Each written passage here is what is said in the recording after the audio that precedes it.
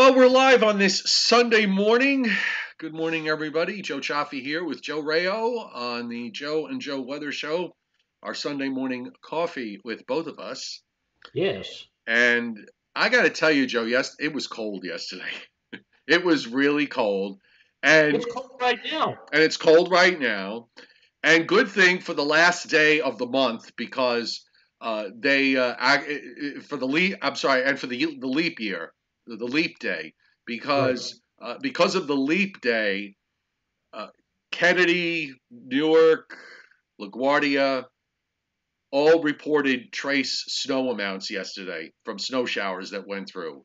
Islip did not. So Islip was the only one of the bunch that uh, of of all the stations in and around the New York City area, at least, they all had a trace of snow for the month.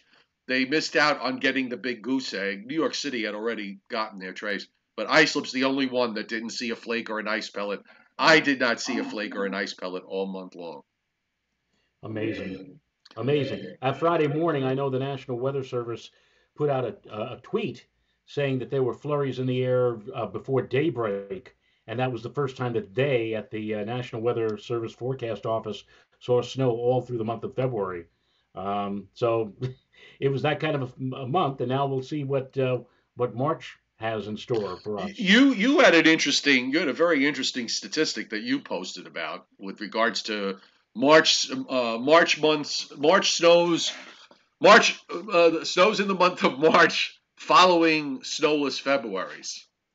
Well, actually, I have to uh, tip my cap to uh, to um, the chairman, uh, Mr. Briller, on uh, on not just one but three different uh, uh, statistics there, and you're absolutely right. That's one of them, where he says that. And actually, I had to correct Scott because when he sent that information to me, he had indicated that the year in question, where um, I think one of those was that the only time we ever put together back to back trace amounts in February and March was in the winter of 2011 and 2012. And I had to go back to him and say, I think you made a typo. It's actually 2001 and 2002, where February had a trace, March had a trace of snow. Uh, and he uh, he said, "Yes, yeah, sorry, you know it, it, that happens." But still, it it'll be interesting to see now in March, 11 or 12 out of uh, 18 uh, uh, situations where less than an inch of snow has fallen in February. March, on the other hand, has had in 12 cases uh, quite a bit more. In fact, I think the uh, the average for uh, snowfall in March was like five or six or seven inches. So there's still hope, folks. There's still a possibility that we might see more than just a few flakes in the air. And Joe, I've already heard the rumblings. I've been hearing the rumblings for the last couple of days about this coming Friday as being the one that will finally break the string of uh, sadness for the snow lovers, uh, the potential of Good luck. some uh, significant snow on Friday. But I still uh, say traipse through the minefield or the snow fields carefully because we've been disappointed before. Good luck. Um, uh, David Schwartz, uh, you know, and, and, a couple of people were bring up this point because those snowflakes that fell yesterday didn't stick. So how is it that you know they reported a trace? Well, uh, the actual precip that fell was snow. Uh, it was observed as snow. Now, whether it stuck or not uh, isn't an issue because uh, it's a trace amount. It's not a point one. So obviously, if it was a, if it had stuck, uh, it, it, would have uh, on the ground. Then you might have gotten a point one out of it if it snowed long enough. but in fact, it was amount, a trace amount would be less than a hundredth of an inch. Correct. Regardless yeah. of whether it sticks or not. Right. Because the precip type is snow. Uh, you're looking at it, it's coming down. That it didn't stick uh, it doesn't mean anything. Uh, right. Now, if let's say let's say that snow fell and didn't accumulate, you know, hit the ground and it melted instantly, uh, but it would have generated a liquid amount of precip, then you would have the liquid amount of precip of 0.01 or whatever it is, uh, but it would probably it would go down as trace because uh, the flake, flakes fell, but it didn't stick to the ground. Does that make right. sense? It makes, it makes sense to makes, me. Okay, and that does well, make sense. Like think about it; it does make sense. a few moments ago, I just said less than a hundredth of an inch, so really an immeasurable amount, but still as you just said, being observed as falling from the sky. So there you go. And I like I, I like March snow because it, for two reasons. Number one, it usually usually does not last very long, even if it accumulates to a degree. And number two, you get a lot of these March snowfalls, especially late in the month, where the snowflakes are about the size of silver dollars. you know, oh yeah, there's a little, you know, the yeah. atmosphere getting warming up. Uh, the moisture content is a lot higher. Yeah, every every once I can remember every once in a while when you get a late season snow and you out here, I've I've seen them the size of pancakes. You know, wow. they, they, come down. They hurt when they hit you. Yeah, yeah. So as far as you know, where, where snow did stick, I do have the now. Now the totals here. It's a 72 hour total. So this goes from uh, this covers virtually all of the snow that fell in um, in, in lake effect country, uh, but that was really uh, substantial. So we've got uh, close to some final uh, final amounts based on uh, the Weather Service's analysis on uh, their snowfall analysis page, and uh, we had a pocket where we would have expected that pocket on the east shores of Lake Ontario, 36 inch plus amounts. just west of I-81 and south of of of, of State Road 13, really got clobbered uh, with uh, 36 inches plus, and a large area here uh, going up uh, to the north and to the south, uh, anywhere from you know the base of at least uh, three or four inches when you get close to Syracuse and Utica, and back over to Rochester at about three inches. Buffalo, Niagara Falls had about um, three or four. Uh, Buffalo uh, picking up uh, about three or four, but then you go into the snow belts in southwestern New York and into northwestern Pennsylvania. You had uh, some uh, six inch plus amounts and a small area of 18 inch plus. So it was fairly sizable. It was a pretty active lake effect event. And, you know, for our friends, Joe, in um, northern Vermont, uh, also some pockets of hefty snows up to a foot and a half. And here's a shocker Maine had snow and uh, many areas in Maine picking up from six to as much as a foot. So uh, this is actually uh, for a late season uh, event that does not. Um, where lake effect is usually not an uh, not an issue here because the lakes are frozen, uh, was fairly substantial. You don't get lake effect events that often in late February or early March because most of the time those lakes are frozen. Right. And did you see some of those homes that were coated in ice? Yes.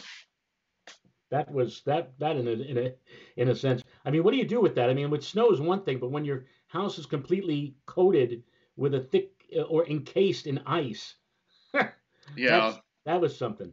That was something, and uh, the uh, melting is uh, going to be a little slow, but they're going to get they're going to they're going to see their temperatures move up uh, tomorrow and into Tuesday. So, but right now it's it's fairly cold up there. I'm just gonna let me just widen this, add a couple of uh, layers here with regards to uh, the temperatures.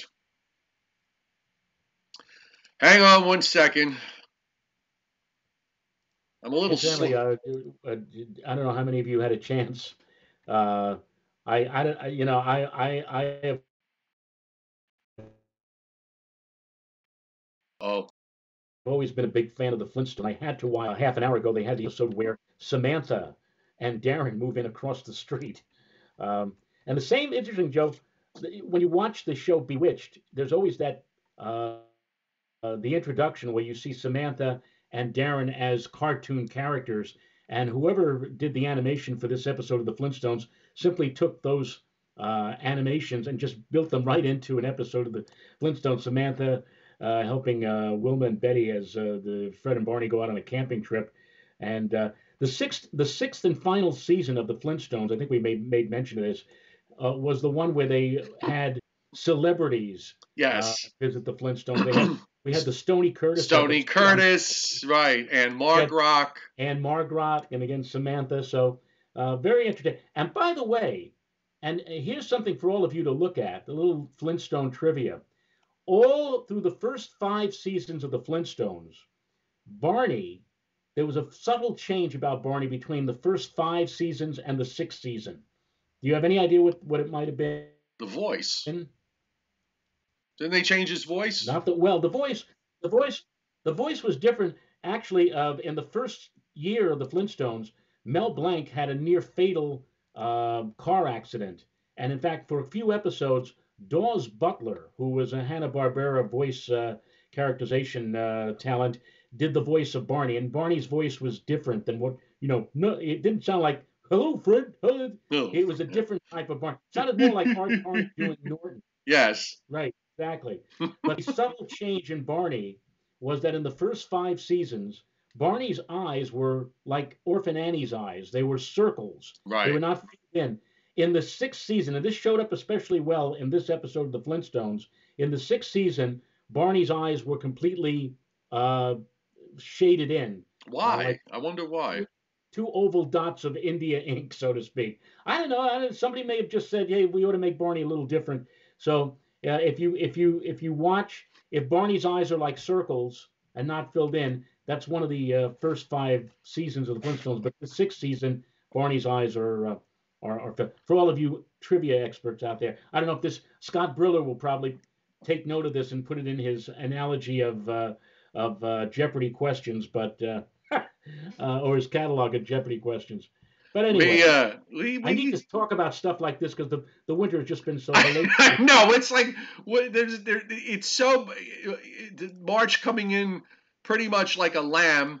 Uh, very quiet. There's no real major storms around. Uh, as, as I said earlier, it's cold. Uh, you know, it's it's cold. It's in the it's in the 30s uh, at the moment as of 11 o'clock Eastern time, and, and where we had all the deep snow and snow cover land, uh, it's uh, a little bit colder. It's in the upper 20s, even some low 20s in a couple of spots. That's got to be topography related. Uh, there's uh, uh, Griffiss Air Force Base right now is 23, so they're the standout cold spot. Everybody else is kind of pushing upper 20s to around 30. So uh, that snow is going to melt, and- and it might wind up melting a little faster than you think. Uh, it's not all going to melt away. And uh, the chilly temperatures uh, going down into Maryland and Virginia at the uh, uh, at uh, uh, again at 11 o'clock, generally in the 40s. Uh, you have to head down into South Carolina and into Georgia, where you start to get into temperatures in the 50s with dew points in the 20s. And just to give a check to Florida, then you start to get into Florida, and you're you know mostly in the middle and upper 60s, showing up. Yeah, one or two spots uh, starting to pop up with a 70 degree reading. So that kind of takes care of the uh, uh, the current weather in the eastern United States, anyway. And Joe, you look at the the uh, the national weather map uh, for watches and warnings. You've got some wind advisories and high wind issues up in North Dakota. Uh, some winter storm warnings in, in southeast Mont- uh, Wyoming and winter weather advisories surrounding that, and uh, some you know some winter weather advisories in um, Southern California up the uh, uh, the uh, Sierra Nevadas, where you're seeing probably, if I pull up the individual forecast, we'll probably see winter weather advisories up for 24 inches or more of snow. you know, that's, that's just how they do it out there. It's just a snooze fest. Yeah, yeah, I don't. And incidentally, Joe, uh, here at Rancho Rao, uh, I have a, a very unusual thermometer. I can always tell when the temperature at my house gets to 18 degrees or lower. And the interesting way I do that is is that when it gets that cold, my deck, my wooden deck, which is on the north-facing side of my house, thumps. And when it gets very cold, I guess it has something to do with the fact that maybe uh, the uh, the moisture inside of the of the of the uh, wood uh, expands or suddenly expands or whatever. But I could be, you know, we, my my wife and I, we could be like it's 1.30 in the morning, and all of a sudden we hear outside, poof. Oh, yeah. And we'll and she'll wake up and she'll say it must be at least 18 out there. Yeah. we heard that last night. So uh, By the way, south of Anchorage in Alaska, on the uh, the Kenai Peninsula, uh, Peninsula, there is a blizzard warning in effect south of Clam Gulch. okay, okay. Just so you know, I mean, I, I, I we don't, I.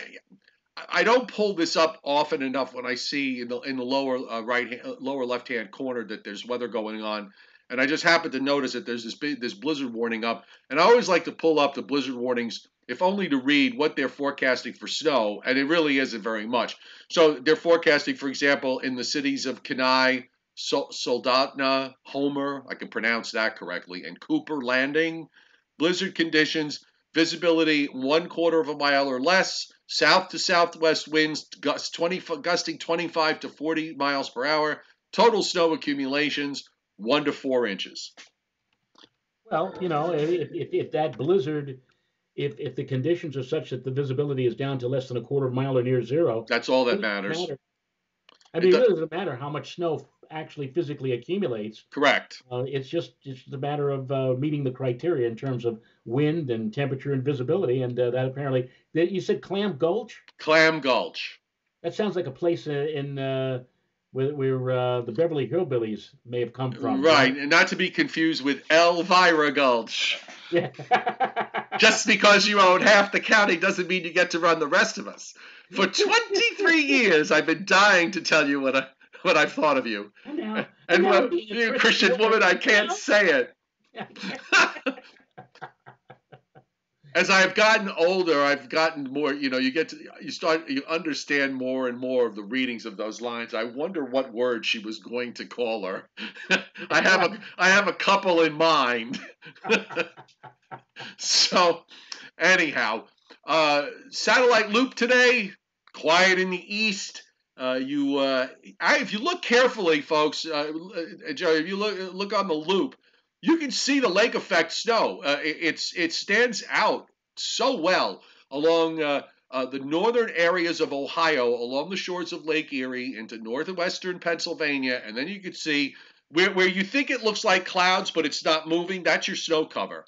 And then you also can see there's a band of snow that runs down through Pennsylvania into northwestern Virginia and into the mountains of, of um, West Virginia, and probably even getting down almost into um, you know west a very thin band west western Virginia and into westernmost North Carolina. That is that's actual the snow cover actually showing up uh, on on the satellite. So uh, lake effect uh, you know did its job. Plus this this this uh, strong upper trough that was supporting all of this extending that narrow band of snow southward down into the Appalachians.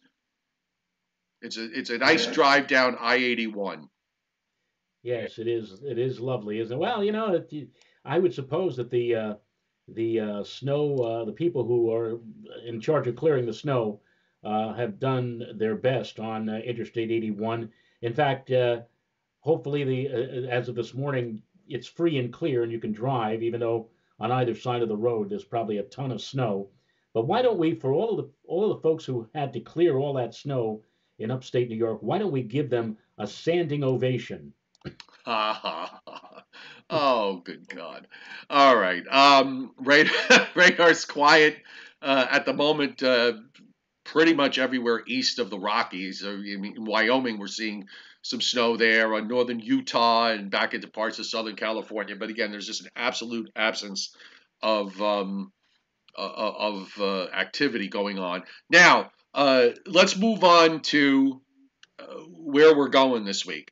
And right off the bat, with regards to anything that, that may be down in the long range at the end of the week, uh, WPC, the Weather Prediction Center, if we want to use them for you know, uh, for support and for clues. They're not overly bullish here with regards to um, precip. I mean, they're only forecasting anywhere between a tenth and a quarter or a quarter to a half uh, for the uh, for the for the urban corridor from Washington to Boston. So right there, that kind of tells you that there's that, that they're not really overly enthused by all of this. Uh, there's big rains that are going to occur from North Carolina and South Carolina back westward into Louisiana. Some three to as much as five inches of rain forecast to fall in the next seven days. And then that band extends east west across Texas. But when you look at this, Joe, you see that there's a frontal boundary that's going to set up across the Gulf states. And where all the max precip is from there and out into the Atlantic, they're looking at this and they're saying this thing is going east north. Whatever forms down there is going east northeast and not turning up the coast. Right, right. And in fact, uh, if I'm looking, I'm looking right now at the uh, four to seven day winter outlook from the National Weather Service. And for those people who have been talking, and this is what I meant before about the rumblings for the end of this week about the possibility of some snow, right now the guys at the weather and gals at the Weather Prediction Center are not too hardy on uh, suggesting any kind of significant or so even substantial snowfall, especially along the I-95 corridor. In fact, the I-95 corridor, right on through Friday, Saturday, and into Sunday of next weekend, uh, is completely void of any snow probability. All of the uh, and it's a re- relatively small probability, 10 to 30 percent probabilities, are once again where they have been all winter to the north and to the west of the tri-state metropolitan area. Right. I have I have the map up for you. I've got Friday's probability of at least two, and it's confined to northern Pennsylvania and then uh, west of the Catskills, going up uh, all to the Adirondacks, and then you got a gap, and then there's some more in in uh, Vermont, western uh, southern Vermont, western Mass, uh, western uh, New, southwestern New Hampshire, and then a little arm that extends up into Maine, and that's for Friday into that's for Thursday into Friday, and then for Friday into Saturday, it's um, it's it's pretty much you know north northeasternmost Pennsylvania, well north of 84 uh, going on up, we put the boundaries on here for you, the state boundaries. You know, same place. Maybe the southern edge is a little bit further south, uh, but it's it's north of uh, it, it's it's all north of Route 84, way north of Route 84. Right.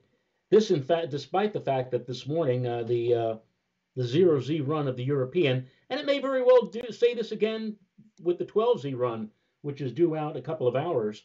Uh, they had a broad area of moisture uh, I I had the ability. I can I can actually see the where the moisture is on the European on the prog that I look at, and it's it's suggesting maybe you know a two to three or two to four inch snowfall for Friday into Friday night.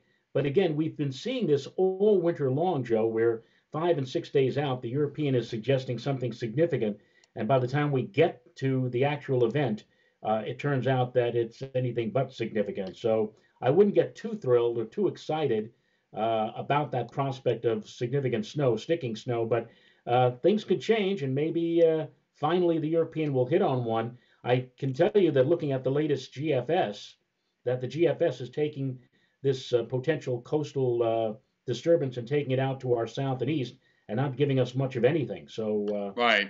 We'll see. Well, we'll, see well I, I, just pulled up the European from last night, and what what's happening? You know, there, it, has got the beginnings of a low in southern Louisiana, and actually on today's dam it shows up as well.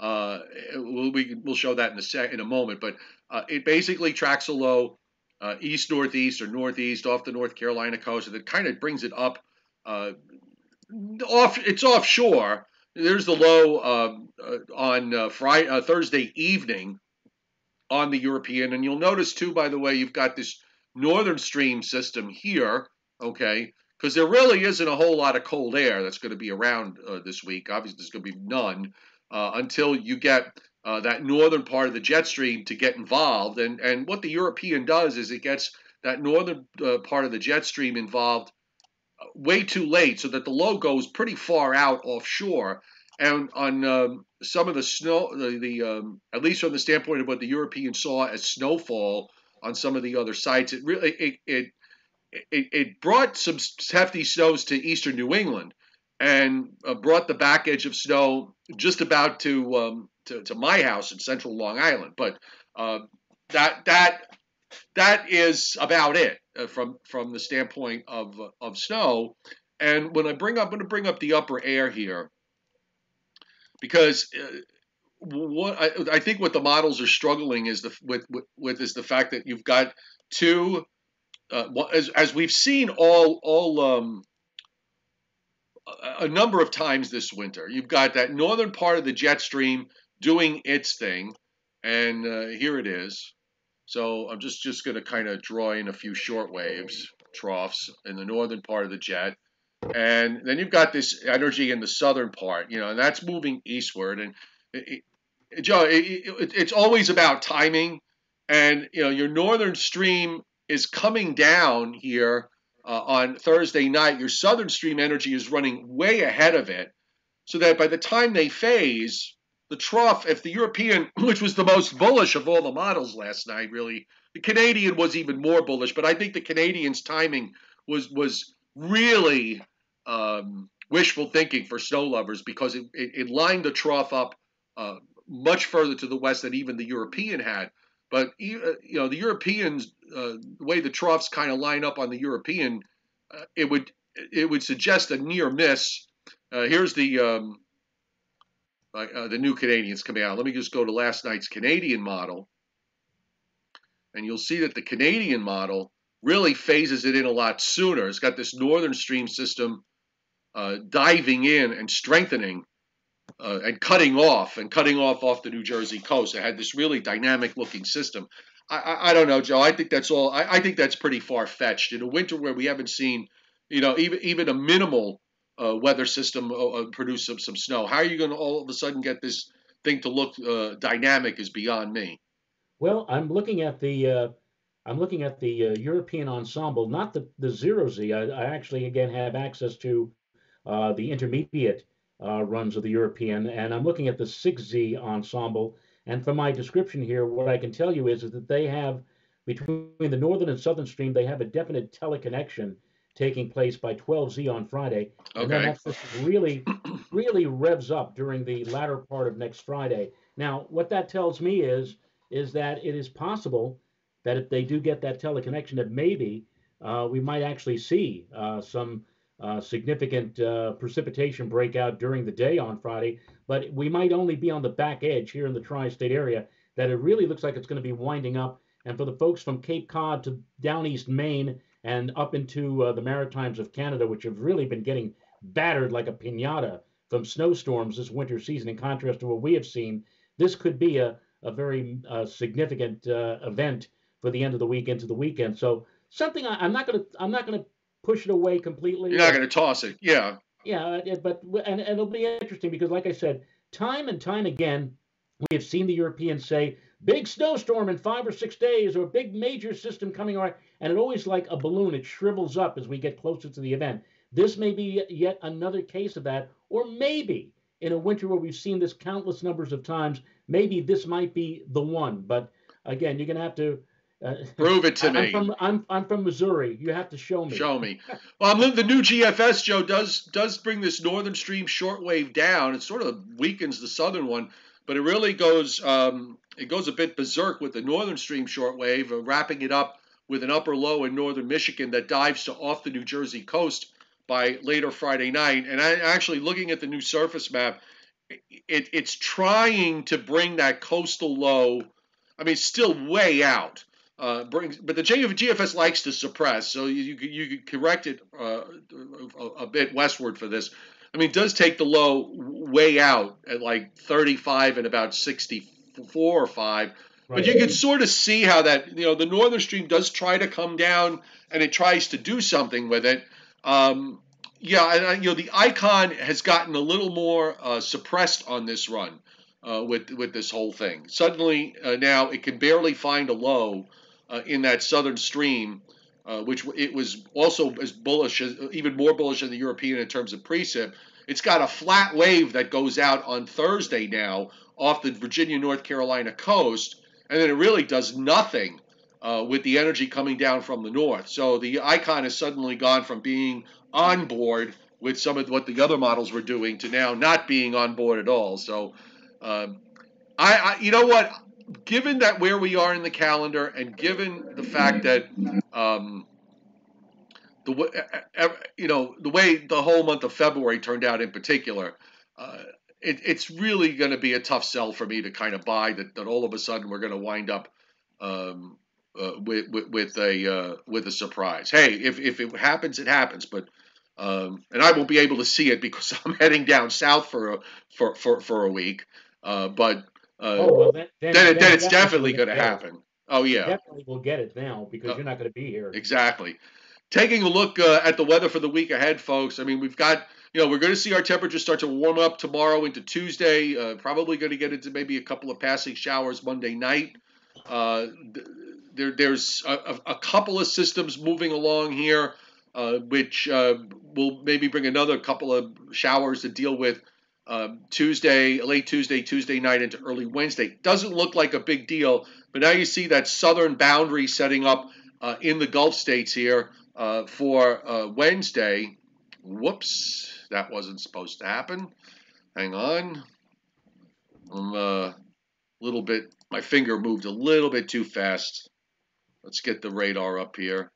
You know what, Joe? While you're doing that, I, I just want to tell you that looking at the upper air on the GFS kind of reminds me, and I don't want anybody out there now to say, hey, Joe Rao said this is going to be a repeat of 1978, but it kind of reminds me of the night of the February 1978 uh, upper air pattern where we had this weak little piddling coastal system uh, about 100 miles to the east of Elizabeth City, North Carolina, slowly moving away from the coastline. And we had this incredibly digging shortwave dropping down from central Canada through the Great Lakes, and it just simply grabbed hold of that little piddling system offshore and said, wait a minute, where are you going? And like injected it with steroids, pulled it back toward the coast, and the damn thing exploded. Right, but you don't have a, you have no blocking. You have no. If you remember, Joe, there was a 1055 high sitting exactly. all across Canada. Exactly. I mean, I mean, like what, what I know when you look at the digging, you yeah, I understand what you're what you're saying. What we're uh, seeing for the end of the week, it almost looks like that digger is going to try is is trying to teleconnect and grab that thing and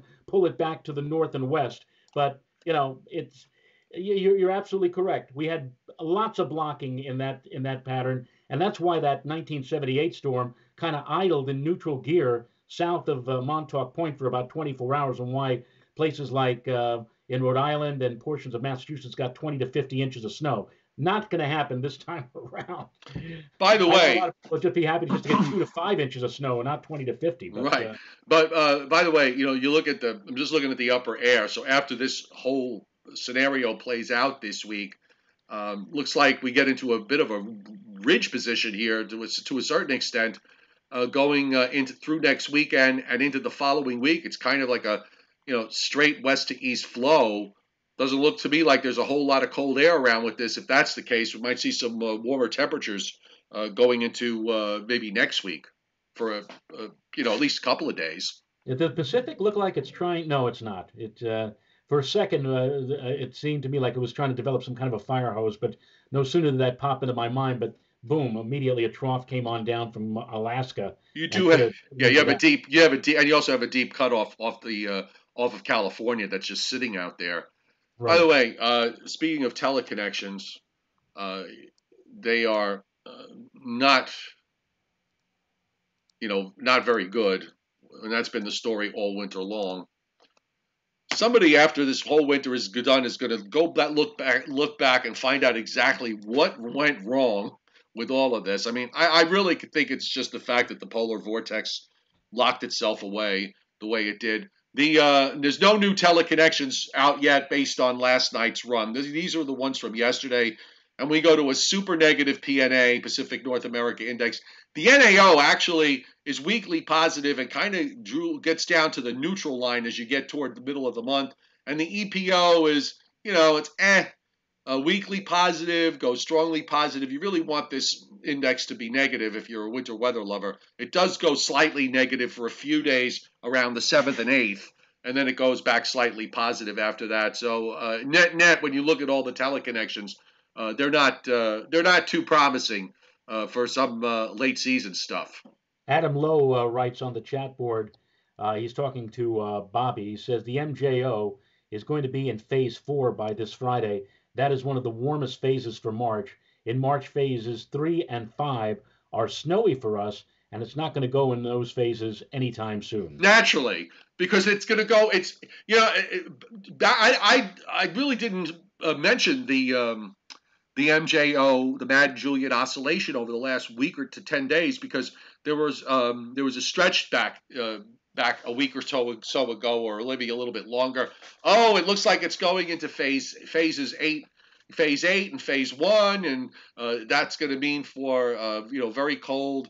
Uh, conditions uh, going into uh, the first part of March. Well, we got you know it is cold. I mean, and it is uh, you know, yesterday I think we were probably about six or more degrees below average in most places. So okay, we can call that cold. But yeah, the MJO has been totally non-cooperative um, for the whole winter. So uh, before I come back full screen, I, I put this link up uh, in the chat for those of you who are interested. Uh, Scott Briller, uh, the chairman, put this uh, sent this to me on Twitter uh, from a website called Snowbrains.com, and they have the top snowfall events in history. just in case you were wondering. And you know, just to just to make you drool, Mount Rainier in, in the national park in Washington gets 1,000 got 1,224.5 inches uh, in one year. Okay, so that's that's 102 feet or something. Uh, Mount Baker ski area in Washington State, 1,140. Thompson Pass in Alaska, 974 inches. And they got some pictures of what that looks like. Um, Squaw Valley, 728. Uh, that was in, uh, actually, that was in uh, this uh, uh, 2016, 2017 that that occurred. That's what that's the year that that that that's the year following the El Nino, and of course California had that that massive five year drought that got all got basically taken out and then some in uh, in one or two seasons. 78 inches in 24 hours in Thompson Pass, Alaska. Um, Silver Lake, Colorado, also uh, 76 in 24 hours. And, and, on and on it goes. But one of the things that's common through all of this thread, Joe, is that they're all in the West. Uh, none of these places are in the East. I will say, however, that I don't. I forgot, uh, I, I, one of the regulars posted it to me. And I'm sorry, I, I, can't recall off the top of my head, but one of these uh, lake effect snow towns in upstate New York got a foot of snow in one hour. Oh my goodness! In one hour. Okay, now oh. I've seen five in one hour. Oh, yeah. uh, that that I've seen and, and, and have experienced. So I'm thinking uh, twice as much of that falling because it was five in one hour is a basic whiteout condition. So I'm guessing I'm guessing that um, I, am guessing that a foot in an hour when you're looking at it out the window looks just like just like like a solid like some like a painted white wall. You know. I mean that's that's crazy. I remember the uh, February 1978 storm, Pomona, New Jersey, which is just inland of Atlantic City, and that's actually where the airport is. When you see a, a weather observation from Atlantic City, uh, it's not Atlantic City on the boardwalk; it's from Pomona, which again is about I think 10 miles inland from uh, from the coast. Uh, but they had four inches in one hour uh, at that uh, storm in 78. And I remember the 83 megalopolitan storm, which dumped one to two feet of snow on average from Washington to Boston. And Allentown, Pennsylvania, in one hour during that storm, had five inches in one hour. That's about as high up as I've ever seen. Yeah. Uh, until you mentioned the 12 inches in one hour. Uh, that that that is ridiculous. A foot of snow in one hour. That's that's crazy. Uh, by the way, whoever hit super chat, I can't see who it was, but whoever hit super chat, thank you very much. I don't know if you can see it on your end. It is it is Richie Comenzo. Oh, very good, and and that's a new name. Uh, that uh, welcome to the uh, welcome to our our show and welcome to uh, my YouTube channel. Thanks for being here. He, Appreciate he it. Actually says he actually ties in a comment. He said treat yourself to a nice lunch, Joe. You deserve it. Oh, thank you very much. For uh, it's always uh, nice to see new folks on board. And uh, again, thank you uh, for for um, hitting super chat. Uh, Vito Spano, there's nothing new here. So, uh, you know, Joe, you were mentioning uh, the fact that uh, you're going to, you know, maybe maybe we'll hold on to um, the possibility that late in the month, maybe something could happen. But we better start to see, you know, we're at March 1st. we better start seeing some hints of a change in the weather pattern really soon because if we don't, uh, we, we, that may not happen. It may not. It may not. And yeah, you're absolutely right. If we don't see it by the latest, the latest St. Patty's Day, uh, if we don't see any kind of signal or change that we may have uh, uh a, complete, you know, flip flop of this current pattern, I think that's it. We could throw the towel in on uh, on the winter of 20, 2019, uh, 2020. It is. it has not been. And again, this is just for the I 95 corridor. You folks who live north of 90 uh, or up near Interstate 81 in the Syracuse area and well up into uh, New England, you've had your fair share of snow this winter season. But for us down here, it has been a snow drought. By the way, Joe, Philadelphia saw a trace of snow yesterday. Oh, glory, uh, hallelujah. And that, that put an end to their string. Had they not had that trace of flakes in the air, they would have gone through February uh, with no snow whatsoever. But uh, they did see a trace, so give them credit for that on on Leap Day of all days. Well, they're going to have one of those, um, barring a surprise, they're going to have one of those situations where um, uh, next year where it the uh, last time that they had an inch is going to go back to last winter. So, you know, they're, they're going to have a lot of days where they're going to say it's been so many hundreds of days since the right. last time we had an inch of snow. Their number is going to be pretty big, along with a few other places, by the way, uh, in that in that general region. Right. It's just crazy. We're back up full screen now. Uh, I, I, I, don't know if you could see uh, anything on the chat as far as any questions, because uh, we're always uh, wanting to, uh, you know, we welcome any questions or comments, folks. And I know the chat board is pretty busy today. Listen, James James uh, is, is uh, answering Frank uh, Rick, Riccio here. Uh, James says Newfoundland is not part of the Maritimes of Canada, and that's surprising to me. I would have thought that they are part of the Canadian Maritime provinces. They are. I'm not talking about Labrador. Labrador is obviously on the mainland, so to speak, and part of Newfoundland is too. But Newfoundland Island, I thought that was considered to be part of the Maritime provinces. Uh, and uh, I, yeah, I thought I thought they were. Um, Adam Lowe says the zonal westerlies are yet at another daily record today and are going to be at a daily record for the next week until that NAO comes crashing down, which it will do. Uh, at least uh, come down off its highs now. Uh, yeah, there's no traffic in the Atlantic, and that's another thing with regards to this weather system off the southeast coast. You know, the, you know we, we've been dealing with this Atlantic fire hose. As much as we talk about the Pacific fire hose, we've been talking about the Atlantic fire hose that runs from uh, the East Coast all the way straight to Europe. And there's nothing out there to, you need storms out there to kind of create a situation where something coming off the East Coast can't go east because there's something ahead of it that's blocking it. So it tries to find the path, path of least resistance and it starts to climb northward. But you don't have that. So uh, that's another dead set against as far as uh, anything happening at the end of the week. Nothing has changed funda- fundamentally, nothing, in my view, has changed in the overall scheme of things. To, uh, to, to, to, you're going to have to prove it to me. And I'm, by the way, I'm looking at the Canadian on its run, which which has been guilty of doing this. And the Canadian has a bit more of a phased look, so it brings this coastal low from off the North Carolina coast almost to 40 and 70. Joe, it's got a 969 low at 39 and a half and 69 and a half.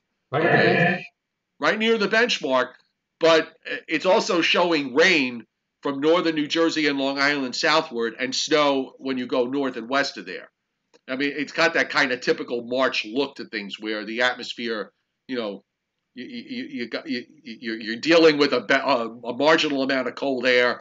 I mean, I, I find it hard to believe that suddenly a storm is going to develop, get wrapped up, and, and pull its way northward from I'm what sorry, I see. Sorry to laugh while you're while you're talking about the Canadian uh, uh, assessment here, but I just saw on the chat board uh, Scott Briller has uh, kicked in five dollars and says Briller Flintstone Jeopardy coming soon. Oh boy.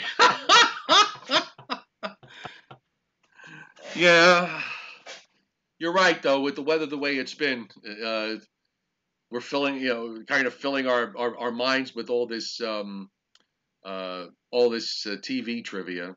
So by, you're, you're going to be away. You're leaving tomorrow. Yes. Are we going to do anything? Are you going to be doing uh, from the Southland? Yeah, or? no, no, I, like which I've done before. So uh, yeah, uh, tomorrow. I it's just that tomorrow is a travel day, right? And I, I, I mean, I guess there's an outside chance because uh, um, we're I'm, I'm driving down.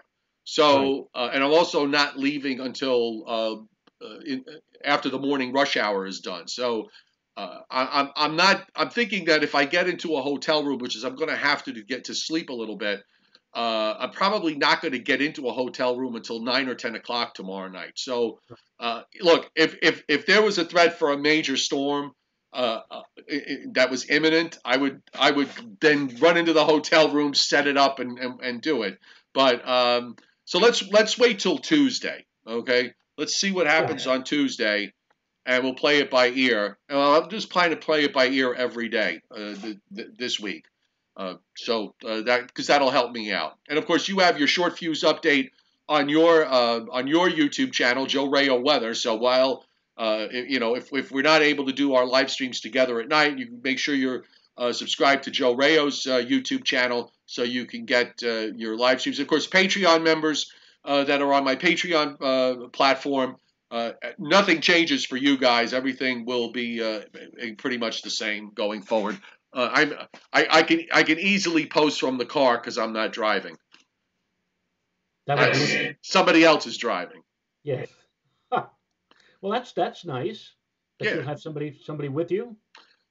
Yeah, no, I'm going down with a friend of mine to. Uh, I'm going to stop and see my grandkids, and then then uh, then we're going to take a quick trip down to Florida because he's got a place there he wants to check up on, and then and then we'll head back. So this is kind of like a little, you know, workation, we'll call it. Well, yeah, I saw. I think it was on Friday, on uh, one of the local news channels. They were showing clips of the uh, uh, Grapefruit League uh, League or exhibition game with the New York Mets, and it was and they showed everybody was bundled up. They were really cold, Joe. The temperature was only around 62 degrees down there and they were all bundled as if it was like in the 30s. Yeah. well, I'm hoping for some. I'm hoping for something a little different. Bill, no, I'm not taking the Toyota.